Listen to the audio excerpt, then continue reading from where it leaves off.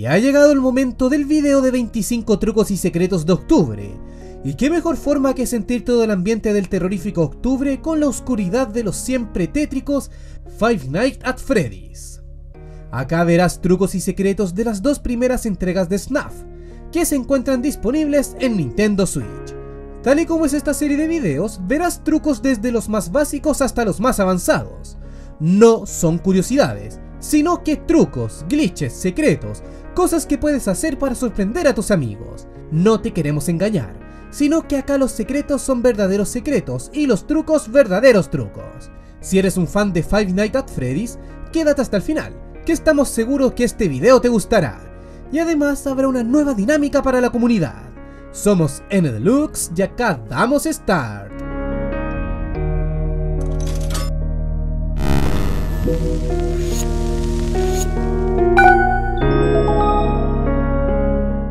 Número 1. Comenzamos con uno de los trucos más elementales y más útiles de todos, pero que no te recomendamos usar si aún no terminas alguno de estos juegos. Si deseas ir directamente a una de las 5 noches sin tener que esperar todas las horas, puedes hacerlo pulsando en el menú principal las teclas C, D y más. Este truco lo puso ahí su creador para testear el juego, pero al lanzarlo no lo retiró. Solo funciona en computador de escritorio y en los notebooks que tengan el teclado numérico. Número 2. En el primer juego de Five Nights at Freddy's, debes sobrevivir durante 5 noches. Si logras aquello, desbloquearás una sexta noche secreta. Esta noche también puedes desbloquearla si en el menú principal pulsas las teclas C, D y luego 1. La tecla 1 debe ser la del teclado alfanumérico, no la del teclado de la derecha. Así además te aparecerá una estrella que demuestra que superaste la primera vuelta del juego. Número 3. Si en el menú principal pulsas C, D y 2, aparecerá una segunda estrella, que es la que aparece tras acabar la sexta noche y se desbloquea el modo Custom Night, que es donde puedes elegir la dificultad que desees de cada animatrónico. Número 4. Si deseas ver una tercera estrella en tu pantalla de título de la primera entrega, debes superar todo el juego poniendo la dificultad de cada animatrónico en nivel 20, es decir, la más alta. Esto además te desbloqueará el final secreto, en el cual se muestra que se ha decidido despedir de su trabajo a Mike Smith, quien es el guardia de seguridad que controlas en este juego. Se le despide por jugar con los animatrónicos, por poco profesionalismo y por un extraño hedor. Número 5. Uno de los secretos o easter egg más recurrentes es el de la nariz del cartel de Freddy. Si pulsas esta nariz sonará una bocina. Número 6. El rostro de Freddy oculta un secreto de lo más espeluznante. Si se saturan las sombras en su modelo 3D, se puede ver la marca de una mano en su ojo derecho. Esto da a entender que alguien apoyó su mano ahí mientras lo fabricaban. O quizás se trata de la mano de quien vestía ese traje y se tenía que sacar la máscara. Número 7. Uno de los animatrónicos secretos más aterradores es Golden Freddy. Para hacer que te aparezca debes ir a la cámara 2B, y tener la suerte de que te aparezca. En esta habitación existe una probabilidad de 1 entre 100.000 que aparezca un póster de Golden Freddy. Luego bajas el monitor y ves en la oficina un peluche de Golden Freddy. Ahora bien, si quieres verlo más fácilmente existe un truco. En la pantalla de selección de nivel de dificultad de cada animatrónico en el modo Custom Night, si pones los niveles replicando la fecha 1987, es decir, Freddy en nivel 1, Bonnie en nivel 9, Chica en nivel 8 y Foxy en nivel 7, saltará un jump scare de Golden Freddy. Como curiosidad, dentro del código del juego se puede saber que Golden Freddy en verdad se llama Yellow Bear. Pero como nunca se nombra dentro del juego, quedó el nombre dado por los fans. Número 8. Hay diversos puntos en el juego donde puedes encontrarte de forma secreta un mensaje que pone It's Me. Uno de estos sale como una de las cuatro alucinaciones que se sufren mientras se juega. Todas aparecen de forma aleatoria. Otro lo verás luego de que Foxy se va de la Pirate Cove. Ahí existirá una baja probabilidad de que el cartel que dice Sorry Out of Order se transforme en uno que pone It's Me. Asimismo existe una muy baja probabilidad que en la cámara 4A unos posters de Freddy, Bonnie y Chica cambien por unos rayados que ponen It's Me. Número 9. En la cámara 4A puede salir de forma aleatoria unos pósters que muestran los rostros de unos niños llorando. De estos pósters que surgen de forma aleatoria, también se encuentra uno en la cámara 2B, donde en ocasiones podrás ver un póster que muestra a Freddy intentando sacarse su cabeza. En la cámara 4B ocurre algo similar. Un listado de normas cambia de forma aleatoria por unos periódicos que hablan sobre los asesinatos ocurridos en Freddy Fazbear Pizza. Son cuatro los periódicos que se pueden encontrar en tal habitación. El primero menciona que unos niños desaparecieron en una pizzería local y sus cuerpos no fueron encontrados. El segundo dice que cinco niños fueron reportados como desaparecidos y que el sospechoso es condenado. El tercero menciona que la pizzería es cerrada por saneamiento. Y el cuarto dice que la pizzería local cerrará a fines de año. Número 10. Casi todos los secretos de esta saga salen de forma aleatoria por lo cual debes tener muy buena suerte para verlos. Uno de estos es que en muy pocas ocasiones, cuando pierdas y vuelvas al menú tras la pantalla de Game Over, podrás ver al animatrónico Bonnie sin ojos. Mientras esperas se le encenderán los ojos y podrás seguir jugando. Número 11.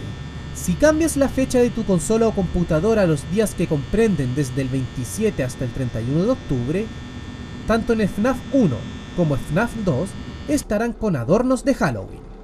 Esto surgió luego de que en 2015 se celebrara Halloween de esta forma en la fecha indicada.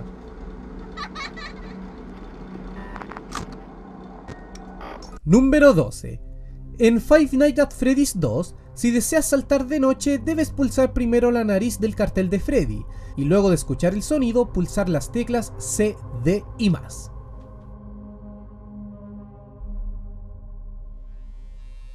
Número 13. En Five Nights at Freddy's 2 existe una probabilidad muy baja de que en la oficina te aparezca una sombra de Bonnie. Esta forma parte de una alucinación y si no te pones la máscara rápidamente el juego se congelará. Este animatrónico que aparece lleva por nombre RWQFSFASXC, conocido por los fans como Shadow Bonnie. Número 14. Asimismo, en la cámara de partes y servicios puedes encontrarte de forma aleatoria con Shadow Freddy o Purple Freddy. Para verlo debes estar en la noche 3 o 4 y que todos los animatrónicos se vayan. Así de forma aleatoria aparecerá esta sombra de Freddy en la cámara 8. Número 15. Uno de los animatrónicos secretos de Five Nights at Freddy's 2 es JJ, o como los fans le conocen, Balloon Girl.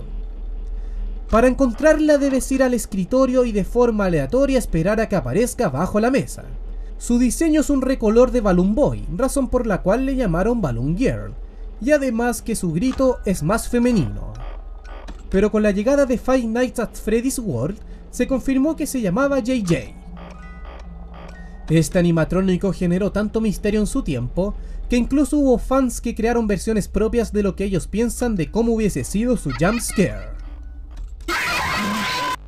Número 16. Otro animatrónico secreto de FNAF 2 es Puppet en la cámara 7.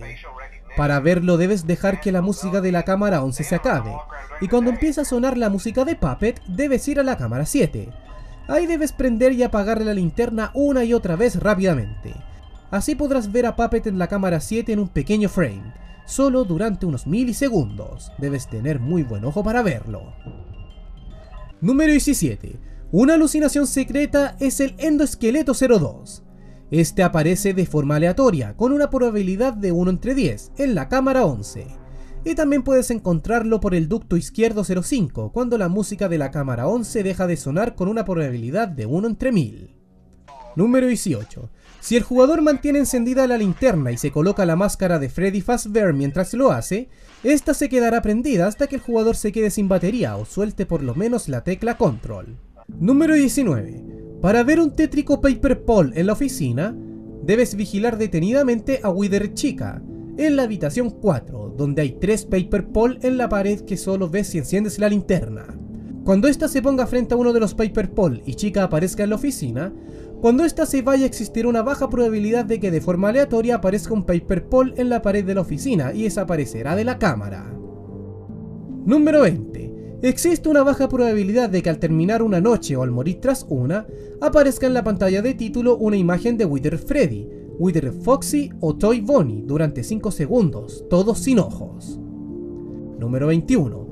Si en la mesa de tu escritorio de la oficina deseas ver unos peluches de los animatrónicos, debes superar cada desafío del modo Custom Night de Five Nights at Freddy 2.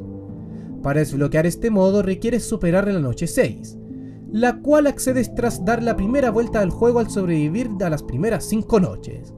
Además, si superas todos estos desafíos, verás el final oculto, donde se muestra que Jeremy Fitzgerald, personaje que controlas, es despedido de la pizzería por juguetear con los animatrónicos y por expeler un mal olor.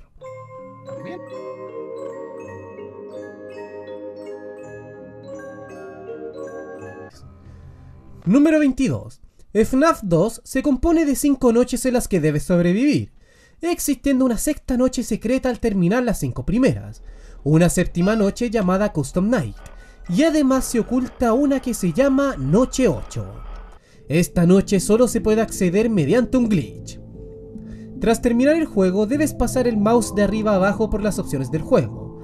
De alguna forma el juego sufre un error que activa una octava noche que no debería poder ser jugable. Es una de las noches más raras. Número 23. Uno de los minijuegos más perturbadores de FNAF 2 es Give Gift Give Life. En este minijuego se ve a Puppet dándole regalos y máscaras a los cadáveres de los niños. Justo antes de darle la última máscara al último niño, aparece por un instante un quinto cuerpo de un niño al centro de la pantalla, y junto a este un jumpscare de Golden Freddy. Al ocurrir esto, el contador de puntaje se glitchea, mostrando una serie de números. Número 24. Dentro de algunos minijuegos se encuentran frases secretas al descifrar los ruidos extraños que suenan de fondo. Cada uno de estos ruidos representa una letra, las que al juntarlas forman frases. En el minijuego Give Gift Give Life se oye la frase secreta Help Them, que significa ayúdalos.